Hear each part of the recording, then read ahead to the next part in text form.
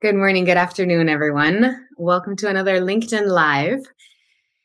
Today, we're talking about why my best people become silent. Um, Tirza, it's not uncommon for leaders to give a town hall presentation, give an inspirational talk about where the company is headed, present the strategic outlook, maybe even announce really important change that is happening, and then crickets. And so that happens even when it's pretty apparent that there are questions, right? I've been in those town halls myself, and I knew many people like me um, who weren't shy to speak up, but still felt reluctant in doing so in those situations. And so, in the worst case, your best employees sometimes choose to be silent and, you know, may even leave organizations. So, what is what is happening? Why are people silent? Um, how can leaders break that? And you know they get super fr- it's super frustrating when there's crickets. So how how do you what is happening? And yeah how do you how do you go about breaking the ice? Yeah thanks so much helena. This is such a great topic. I myself have been also in these meetings where um, somebody presents something and um, and very few you know people or nobody says anything um, and there's a lot of things going on in that situation. Um, but the most, some of the, the most useful things to look at is um, as a leader, as the one who's wanting to come um, and like present something that has um, undergone layers of um, like articulation and iteration and they and now feels ready to share there's a couple questions to ask one did you at all include people in the development of that message. Because if you didn't, now you're like presenting something to people that feels um, somehow finished and complete and which they had no participation in and um, and don't have a clear understanding of what that means for them um, and they may not even be able to fully digest it because there's some of us that really want to take time to digest something before we like question back. And so, even just the act of getting up and giving a big speech without giving people any kind of grounding ahead of time or inclusion, you've now really um, already broken several of the primary types of psychological safety Timothy Clark has given us a really great framework for how to think about the core um, types of psychological safety.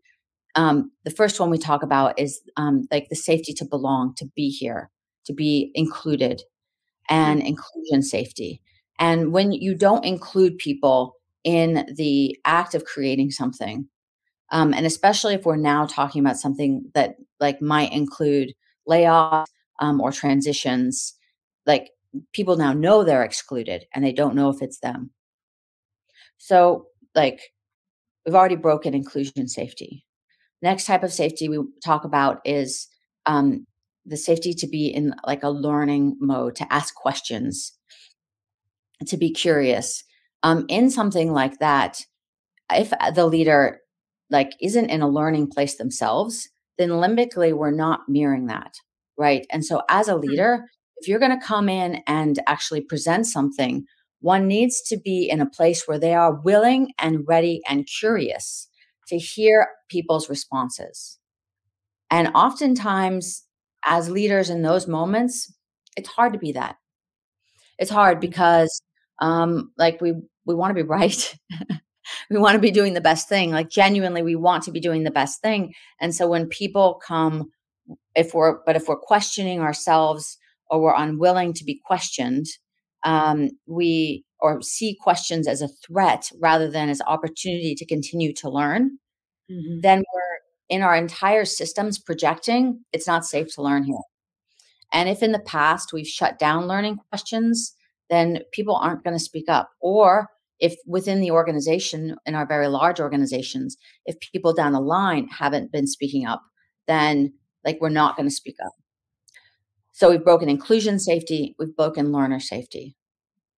Now let's talk about contribution safety. If we didn't include people in that whole um, process, or we haven't really made it safe for them to add on to, to iterate our plan, to ask meaningful questions that are going to change what we're doing, then we have no space for co- contributor safety.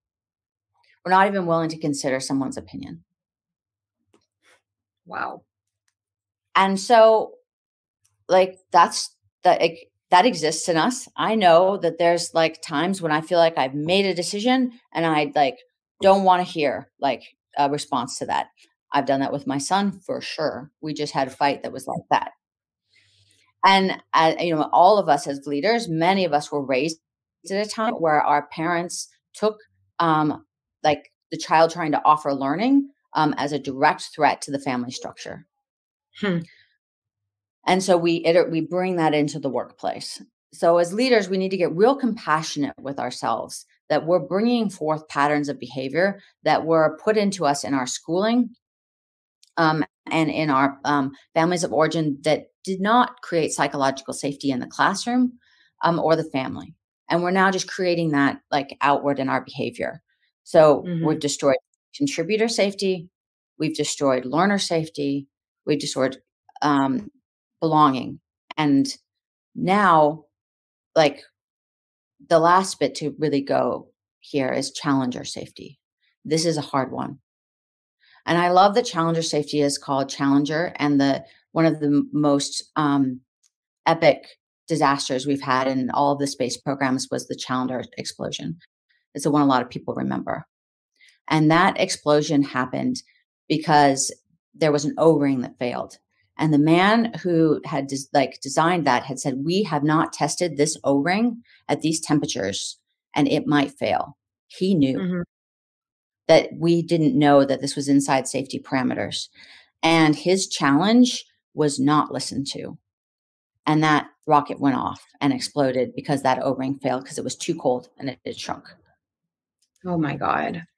So even like a, a real safety challenge, yeah, and not just exactly. This happens all the time, not just something, but really like because um, safety is limbic, not logical, we don't have a really good way of gauging um, an appropriate response to threat.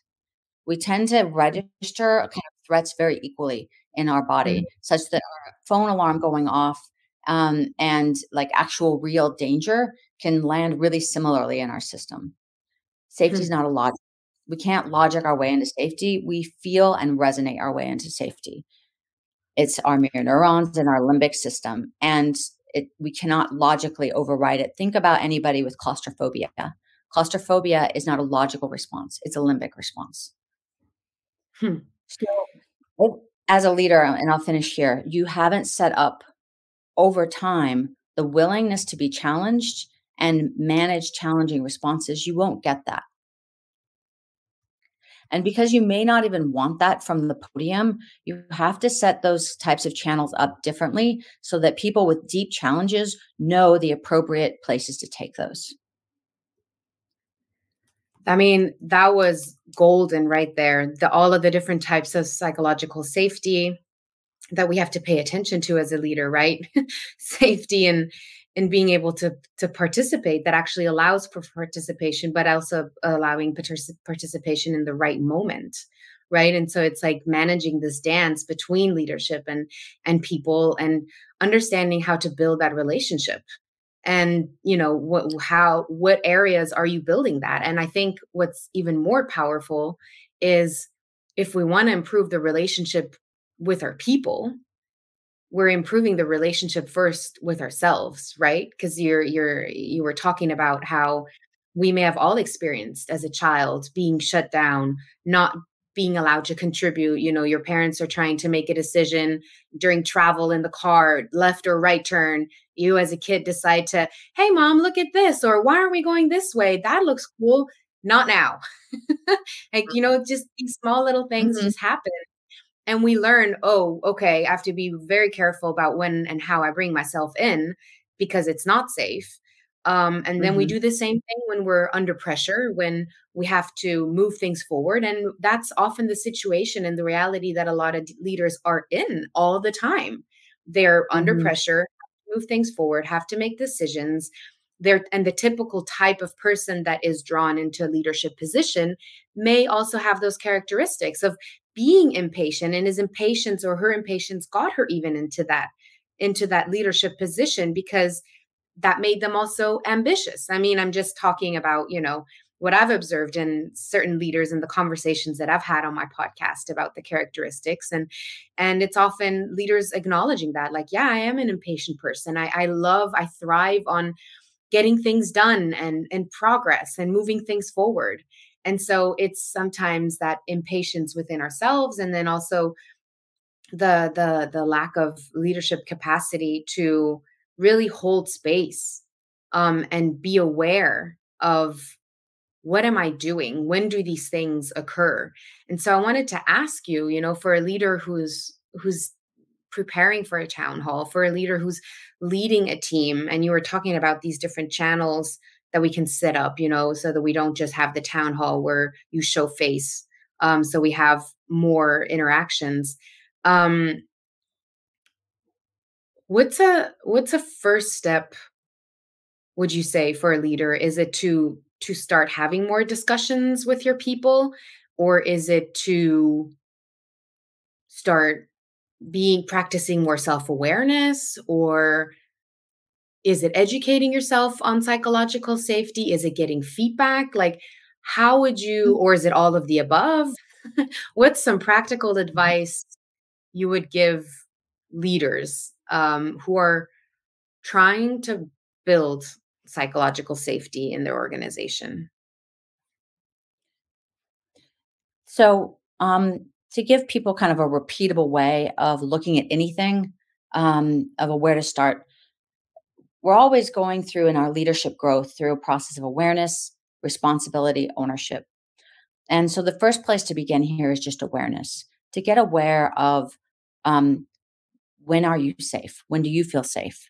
What types of things like create a lack of safety in your body? Is it with your like superiors? Are there certain types of people that trigger that lack of safety? Are there certain um, activities um, or ways of being questioned that create a yourself? Get aware. And once you are aware of um, what triggers you and the responses that you have that um, create results that are different than the results you want. Now we can take responsibility. We can take responsibility for our responses. We can take responsibility for trying and learning about new actions. So, this is a good place to learn. Like, what are different types of psychological safety? What breaks them? This is a place to begin to go for feedback. Like, hey, like, I am really curious about um, what I could be doing to um, bring more safety to this team. Asking one person in a one-on-one. Um, maybe going to the person that you really like sense you don't have a safe relationship with and asking them. And as we take responsibility we're going to try things. And because trying new things um, is hard so i'm going to get it wrong um, and being really patient and forgiving with yourself when you're wrong to come back to the awareness that you got it wrong and choose to take responsibility again Eventually, these practices become part of who we are and we're in ownership of them. And we know that when we practice uh, clearing things, when we practice going for feedback, it actually improves psychological safety. And when we set these practices up on our team, then we kind of become a self cleaning oven such that breaks in safety get dealt with. We had a break in safety last week. Um, last week, if you were with us, the my internet failed um, and the live got glitchy and I, I couldn't even continue. And I was texting things that were kind of um, and coming from a place of stress um, and demanding of things that were not really Helena's responsibility. And so I called you up um, and I was like, hey, like I'd like to clear how I was um, in this interaction. I'd like to, I'd like to like tell you I, am not proud of who I was. And mm. well, like had a real interesting share. Yeah, we did. Because for me, I, I realized, okay, we were in a moment of stress. Like this is, you know, like there was like fire shot test uh, texting, and I was like, okay, she's she's stressed. So for me, the the situation wasn't wasn't actually triggering. Um, and so I kind of like for me was like, okay, I kind of water under the bridge type of situation. Um, but then you, the fact of you calling me and wanting to clear and wanting to talk about how you didn't feel okay with how you handled the situation, I was like, oh, okay. Um, that's how she she dealt with that. Well, I appreciate it because first of all, I do feel like you care about how I felt during that situation. Um, which is something I, have a follow up question on for you because the factor caring matters a lot. Um, you, you, you, for you to walk the talk, really. Um, but then the other thing too is I observe myself in my own relationships where I get much more comfortable with owning the fact that I'm not perfect. So when people that are more senior to you, um, more experienced than you, um, own their imperfections and you can see that it's continuous work in progress and that they're a continuous work in progress, it kind of allows you to take them off a pedestal, which you're constantly measuring yourself against.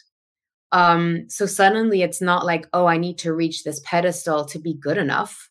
Then I'm going to be a leader. It's more like, oh no, I can be this now. And I'm expected to do this mm-hmm. now because my leaders doing it. They're my leaders doing the work now.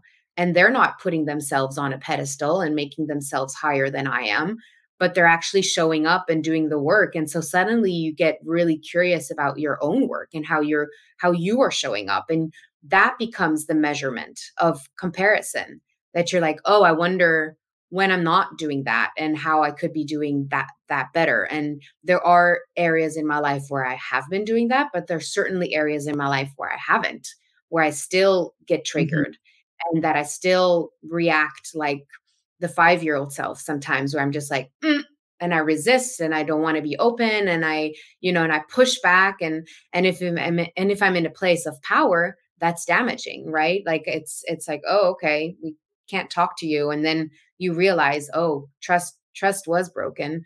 Um and so i think that's the the the honestly the mo- most powerful aspect of it is if you are working with someone who can create that psychological safety who is showing up fully vulnerable and willing to work on themselves and own and talk about the gaps that they may have then suddenly you're it's like it's like a piece of it's like a golden nugget that you hand on and then suddenly you're in other mm-hmm. circles mm-hmm. where your leader is not even showing up and you're you're you're doing that and so suddenly it's like a you know a forest fire that just catches and it's like suddenly everyone's doing it right um but it is mm-hmm. challenging because you need the value of you know having that shared value of actually caring and wanting to um show up vulnerable and, and, and wanting to do the work.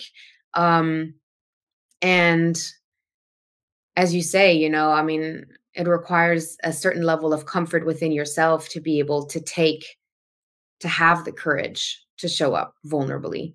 Because, you yeah. know, what I've often observed is leaders um, showing up in meetings and sharing their personal, you know, personal things, um, stories, and opening up and being vulnerable and the back they got some backlash because they were working with people or leading people that had been um, working in cultures of command and control where being in a position mm-hmm. of leadership meant you had to exercise command and control and you have to exercise your expertise and your knowledge and if someone didn't do that they mm-hmm. were actually lacked in credibility to these people yeah you know and and I, that's really challenging because you try you think you're doing the right thing but people aren't responding to that too. It's useful to appreciate that we're still in a transition time in our organizations. And so while Brené Brown has given us all um, such an incredible gift in the way she has brought us the power of vulnerability um, that message and that culture shift has not made its way through all the places, especially into um, the places where people are really have really benefited from command and control, and they have reached a place uh, in the hierarchy that um, changing the system might look like a loss of power and a loss of earned recognition. Mm-hmm. Uh, recognizing we're in this transition time, um, as a leader, it is useful to, to read the room, like know how far to share, because we can create a space of vulnerability um, without losing um, our management of the space and our ownership of what's happening here as a leader. Coming back to that place of responsibility, um, responsibility takes courage um, because sometimes we get it wrong.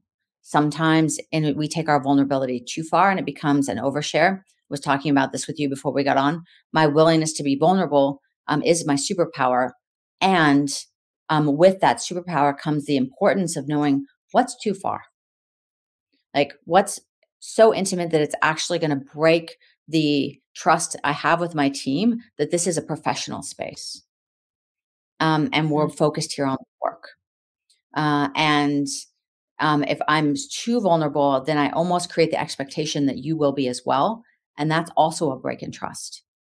And mm-hmm. so, respecting though that anytime we move into something new, we are going to make mistakes and we're going to need to recalibrate and find a new way of doing, which is why responsibility is this repeated process.